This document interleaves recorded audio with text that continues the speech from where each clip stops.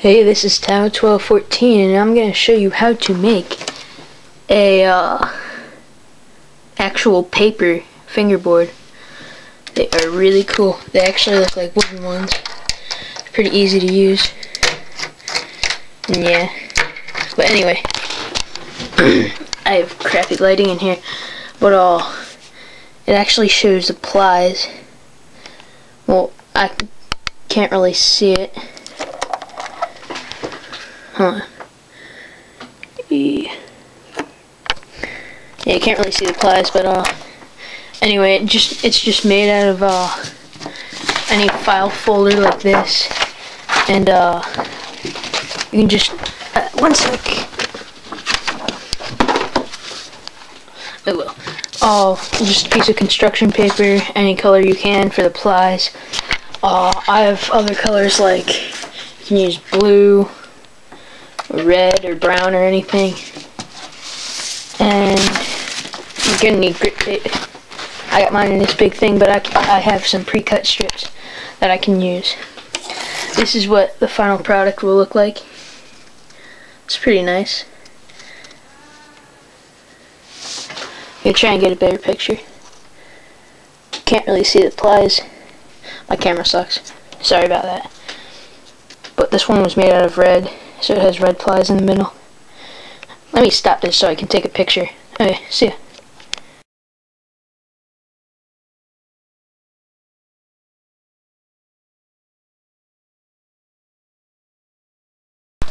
Alright, so anyway, materials you need are construction paper, a file folder, um, some Tech Deck hardware right here, uh, a pencil, Where'd my grip tape go? It's on the floor. Got some grip tape, scissors, and uh, two tech decks for the mold. Alright, so let's get started. Alright, first off, you need to cut off some strips of paper from this. You need to cut it thick, a lot thicker, almost twice the size of your tech deck uh, so you can cut off the excess and it fits better. Oh wait, I forgot to say one thing. Also need glue. Elmer's glue all works the best. Don't mind me skating. I'm a yeah, whatever. Alright. Oh, so then you have this. This this is the color I'm gonna use in between.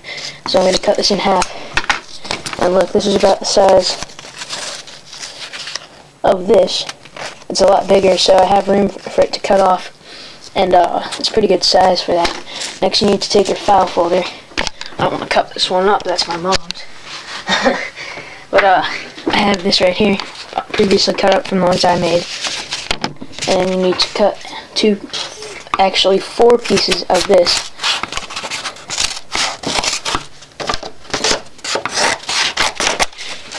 I have crappy cutting skills.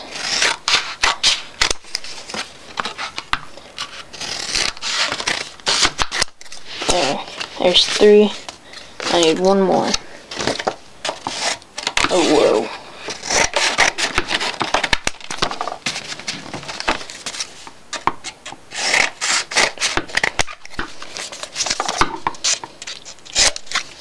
Okay, so then we have our plies.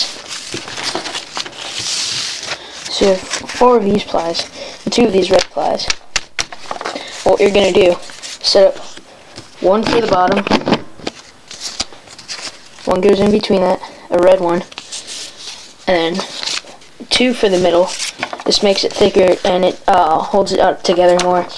Then you put your red one on, and then your final top piece.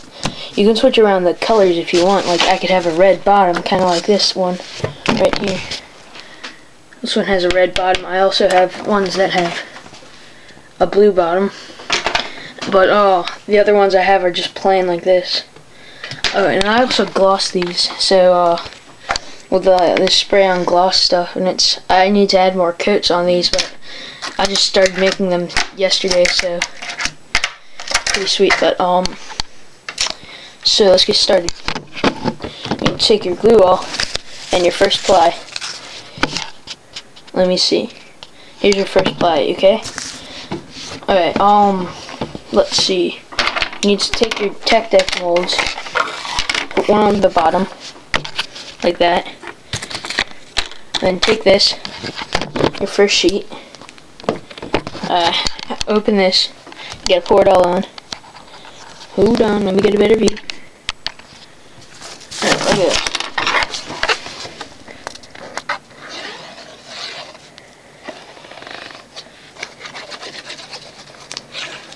And just spread it all around. Wait,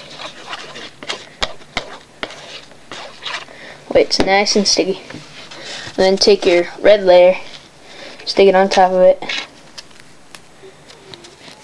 Move it around so it's centered. Alright, so this is going to be the bottom piece, so you want to make sure that uh, doesn't have any stuff on it unless you want graphics on it, which you can add later. Alright, so that's good. Next, you want to add your next layer.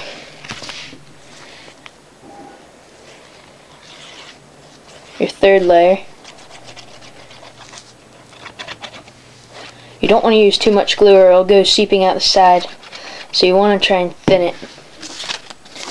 Alright, now take your next layer, put it on top of that. And then this is the time to put it on top of the tech deck. And then you put one on top of it. Oh, and you're going to need some clamps for this part. So here, let me go get mine. Be right back.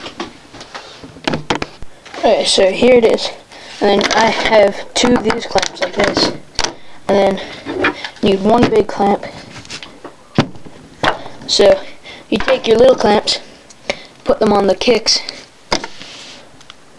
like so. Clamp the kicks together. And then you need to take the big one, put it right in the middle. Yeah, look at this. So you've got those three layers clamped together, and they're already taking shape. You need to let this sit for maybe, I don't know, uh, probably 10 or 5 minutes would let it set, and then you could add more layers. Mm, yeah, I guess 10 minutes, or 5 or 10 minutes would do good. And then you can add all your other layers and uh, keep it in the final mold while it's still drying, because it gets hard as a rock. Once the glue dries, it's really stiff glue. Elmer's glue all. Thank you, Elmer's. Time to take it out of the clamps.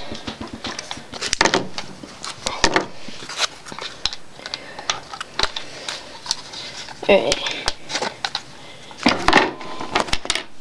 By now it should be uh, actually pretty stiff.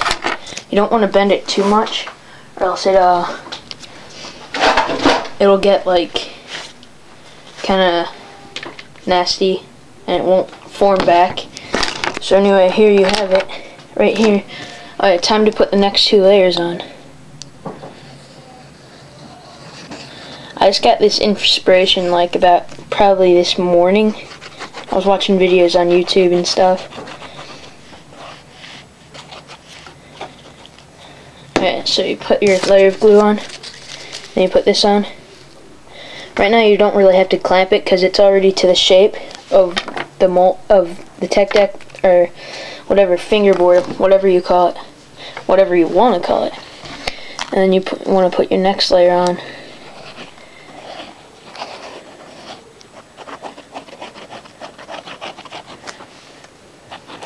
again you want to spread it around because if you have it all clumped in one place it'll um, probably like leak out a lot alright you want to get this centered and you put on your bottom one you want to use the same tech uh, tech deck for the mold and to keep it consistent and to not mess up the shape you want to line it up it seems good. Put on your kick clamps. kick clamps. Get it? I don't really know what that means. It's just clamps for the kick.